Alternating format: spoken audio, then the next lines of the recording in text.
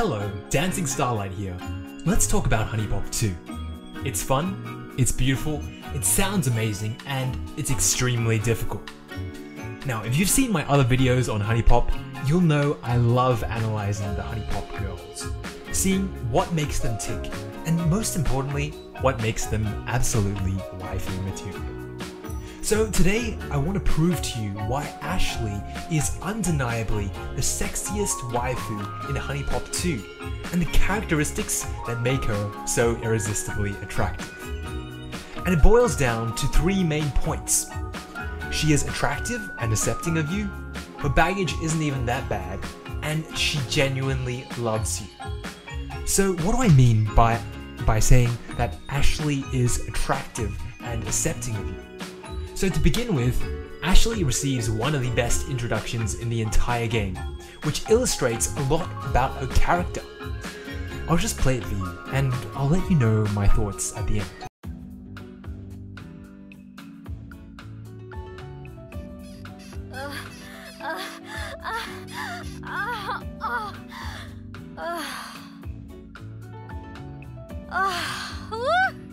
Thanks, man. I really needed that.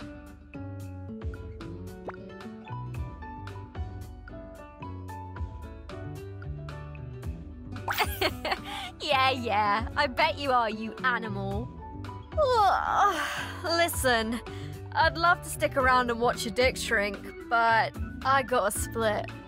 I have a crazy early flight tomorrow. My boss is sending me out to some island for an exotic shoot. Then I'm supposed to meet up with this teleuber chick for a cross promo we've been planning. Ah, it's not easy being a world class fashion model, you know? now, where did you throw my clothes? Ah, there they are. Well, aren't you at least gonna walk me back to my car?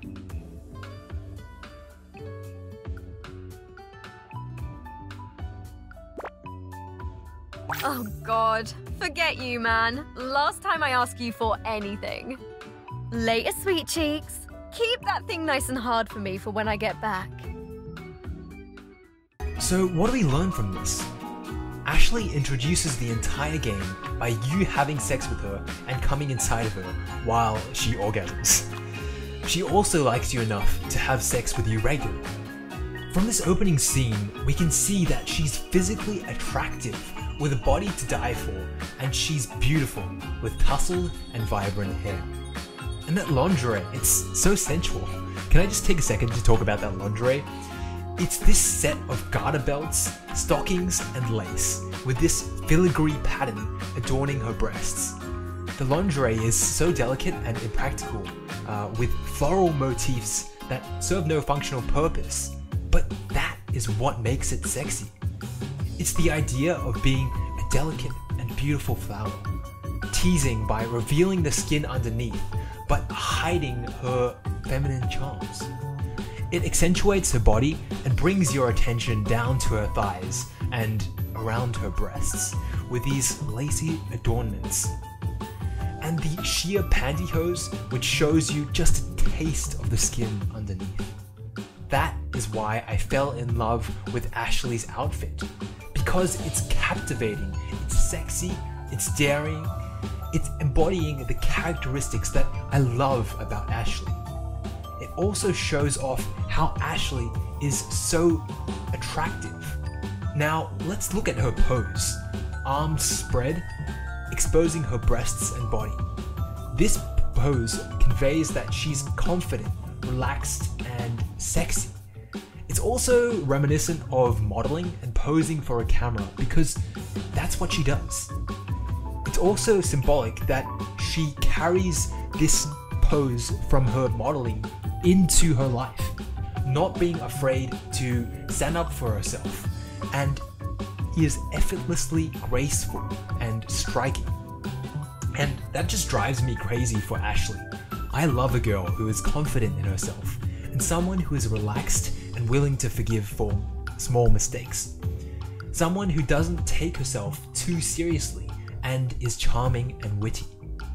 As a quick summary of everything we learn about Ashley from this introduction, she's a world class model.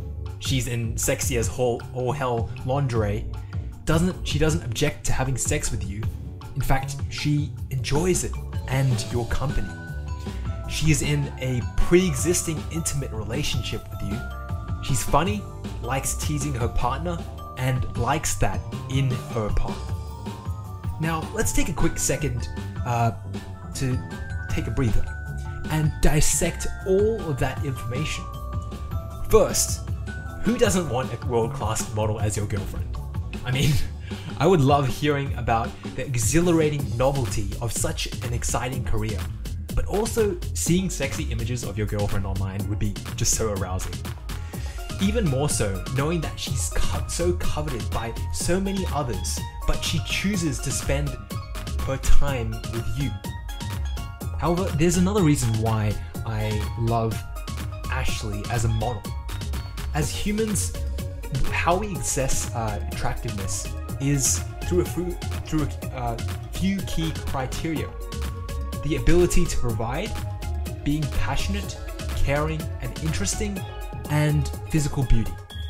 For instance, uh, women and men who are more are more likely to be attracted to a woman or man that is famous, successful, and has a higher income because they are a source of stability. That is just the way it works. If we just examine Ashley through this definition of attractiveness, as a world class model, Ashley certainly can provide for herself.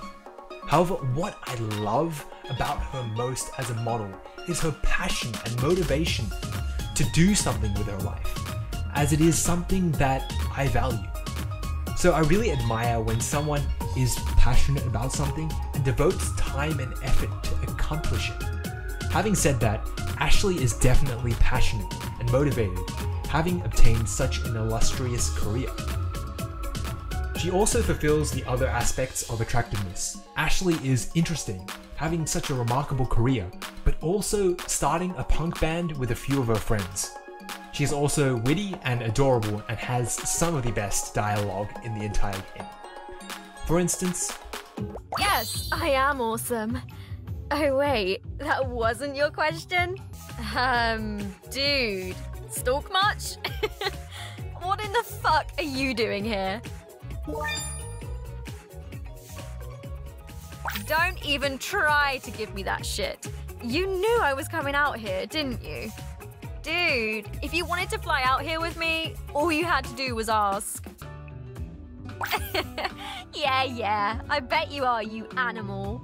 Yes, Ashley, I'm an animal just for you. I just love how she teases and flirts with you, making her enjoyable to be around. She also states, Just make sure you keep things interesting, okay? Otherwise, I might have to go find somebody who can. From this, we can see that Ashley places a high value on keeping things interesting in a partner. So it is unsurprising that she herself lives an interesting life and is an interesting person. Now, onto the next criteria for attractiveness physical beauty. Now, it's pretty clear that Ashley is sexually attractive, and it comes with her being a successful model. Not to mention, she says, I like to head over to the free weight section and show the big boys how it's done. so she's actively, uh, physically active and fit.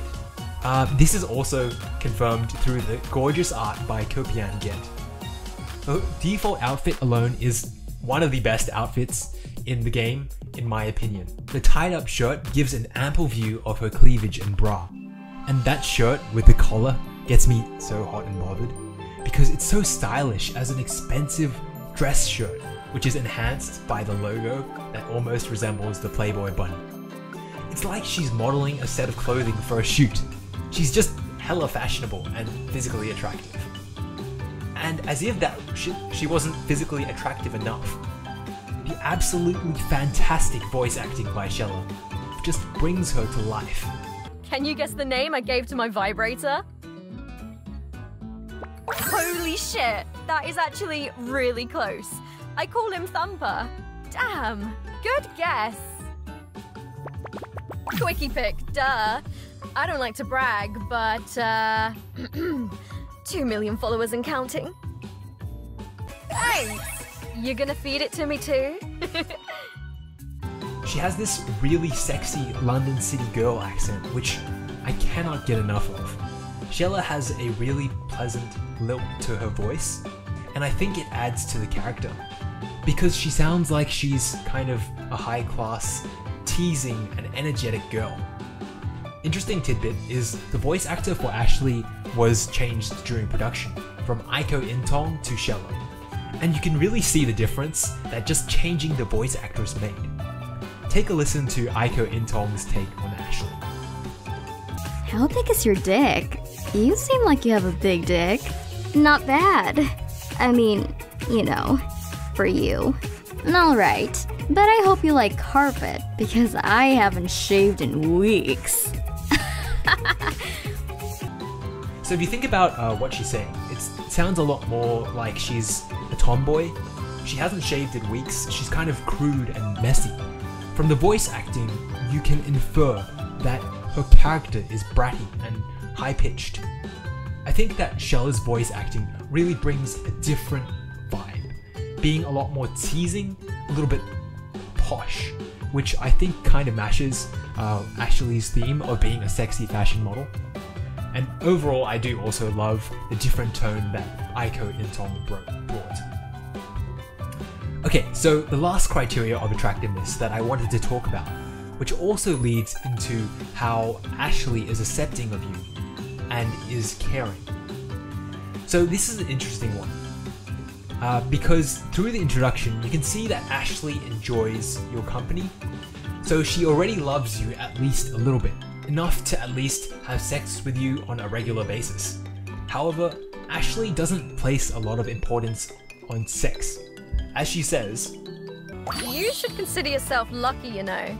Normally, I get bored of people pretty quick. This implies that she often has a casual uh, has casual one night stands with others, and this relationship between you and her is something that she's familiar with. Nonetheless, I do think that she does care about you, from her teasing remarks, how she's kind to you, and doesn't have any ulterior motives, unlike Brooke, who is just after your money. And she obviously likes your company, as she asks you to assist her in her cross promo video with Polly and invites you to see her in uh, the free time she has on the island. So, overall, we can guess that uh, Ashley fulfills most of the criteria for being attractive, and before the game starts, already has a friendly relationship with you and is accepting of you as a person, which makes her the perfect girlfriend. The next point I wanted to discuss is how Ashley's baggages um, aren't even that bad. The thing with HuniePop is it creates intentionally flawed characters. It creates characters which are so obviously broken, uh, both for comedic effect, but also to accentuate the characters they are supposed to embody. For instance, Audrey is scarred from her previous relationships with others, so she doesn't let people get close to her. Jessie is a mother, so, so enamored uh, with fame that she has forgotten what is most important in her life her daughter. And Nora has been hurt by the abandonment of her father and those who she would consider her friends, so she's hesitant to make relationships with others. And now, the first lesson you need to learn about character writing is that flaws are your best friend. If I wanted to be artsy and poetic about it, as with lighting 3D models, shadows reveal form. So if you just have flat lighting illuminating your whole model, you can't see all the little details in your model. You can't tell that a sphere is a sphere because you can't see its 3D shape. And what I mean by that metaphor is the flaws in a character reveal the cracks and crevices in a character that make them seem more grounded. By putting such a huge spotlight on flaws, we can relate on a personal level to the characters so much more. And if I need to say it in one line for Ashley, it's that she need, just needs someone to be there for her and to convince her that marriage isn't so bad. Her fear of commitment is something that you can sympathize with. being afraid to let others close to your heart and makes her character feel genuine. So her three baggages are commitment issues, easily bored, and allergies. So first up, allergies. Who cares? You think I would throw throw away a perfectly good waifu because she has allergies? The main one is that Ashley has commitment issues, which relates to her being easily bored. And the line that demonstrates this best is when you ask Ashley, What is your favorite thing to do on a Friday night? Like you don't know. Letting someone take me out so I can get some free food and some free dick. We note that she uses the word someone, implying you're not the only one she has casual sex with.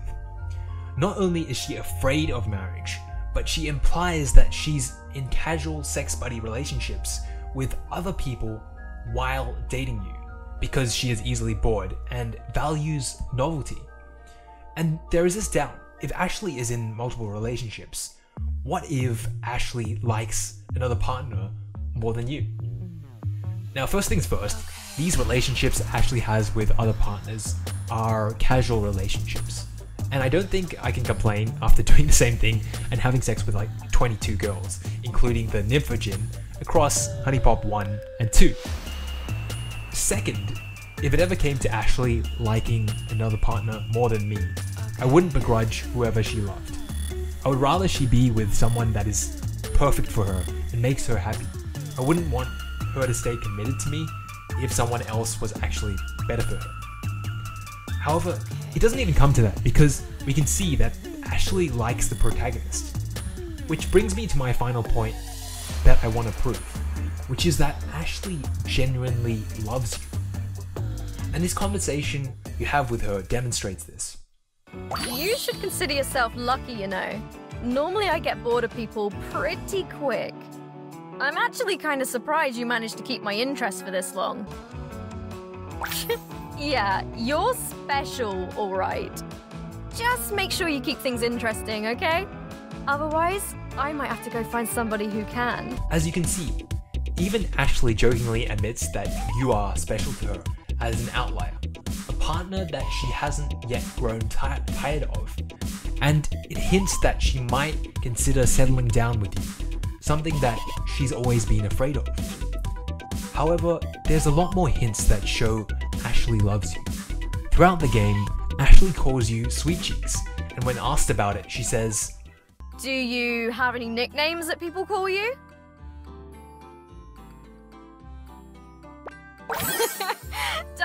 Don't that just means I like you. Besides, those cheeks are pretty sweet. So it's confirmed that she is quite fond of you. I mean, she has a copious amount of, th of threesomes uh, with you, so and I don't think she'd do that with anyone. It's because she actually does like you. But why is that?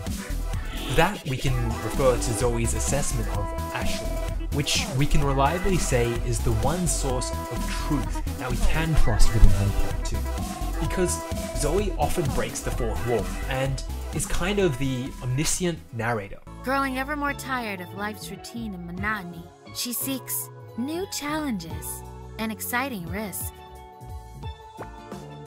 I had a strong feeling you were going to know this name. And you offer that for her. Judging from your apartment, uh, with a view of the city skyline and your ability to have threesomes with so many girls, you offer luxury, charm, and above all else, excitement for her. And I can agree uh, with that because I love excitement and novelty as well. So, how could you not love someone who already loves you before the game even starts? She's basically already your waifu.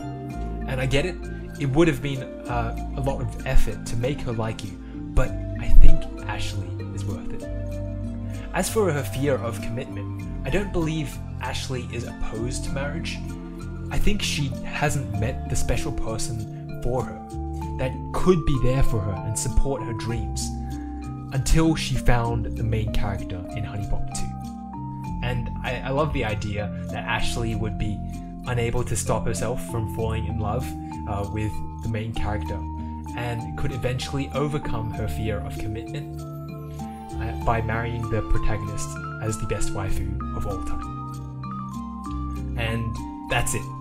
In summary, Ashley is the undeniably the sexiest waifu in HuniePop because she is physically attractive and thrilling to be around. She's already fam- familiar with you and enjoys your company, and her baggage isn't even that bad, and she genuinely loves you. But most of all, I wanted to explain why I fell hopelessly in love with this cutie. Why I love the way she looks, the way she talks, the way she dresses, why I want to kiss her and support her in any in any way possible, and how much I want to marry her because she's simply lovely. Now, thank you for being here. You are my lifeblood. Dancing Starlight